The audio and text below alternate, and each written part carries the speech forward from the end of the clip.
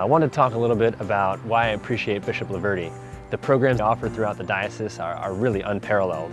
Um, the support that we get as youth ministers, the training, um, I think that's really due to the support that Bishop Loverde gives us, um, how much he cares about the young people of, of this diocese, and uh, the place, the special place in his heart for youth and campus ministry. Thank you, Bishop Loverde, for the many ways that you support Catholic education in the Diocese of Arlington. Bishop Loverde, I wanted to thank you for the great work that you do in our diocese for the young people. You always tell them that you love them and be assured, Bishop Loverde, that they in fact love you and that they are praying for you just as I'm praying for you. So thank you so much in this year of the priest. Thank you, Bishop Loverde.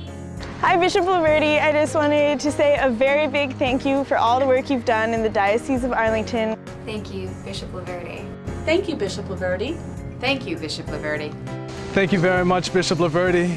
It's been a pleasure having you as a part of the Diocese of Arlington. I've seen its growth and I've seen the youth ministry especially have a special treat with having you around. I've gotten to hear you speak as a homilist at George Mason University and it's always been a pleasure to have you around. Thank you very much. Thank you, Bishop Loverde. Thank you, Bishop Loverde. Thank you, Bishop Loverde. I just want to thank you for being our shepherd, for leading us, guiding us, and most of all for praying for us. And uh, I just want to say thank you. Thank you, Bishop Loverde, for all that you do for our diocese.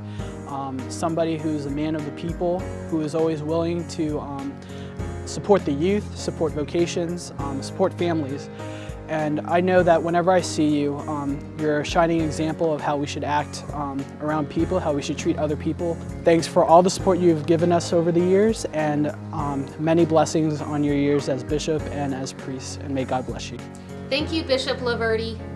Thank you, Bishop Loverde. Well, as we come to the end of this year for priests, I'd just like to say a word of thanks to our bishop, Bishop Loverde, who is in so many ways uh, the chief priest and the shepherd of our diocese. I also see him as a person who takes very seriously the priest's role as being a teacher of our faith and certainly in the time and the effort that he makes to prepare every homily and every talk that he delivers in which he hands on our faith.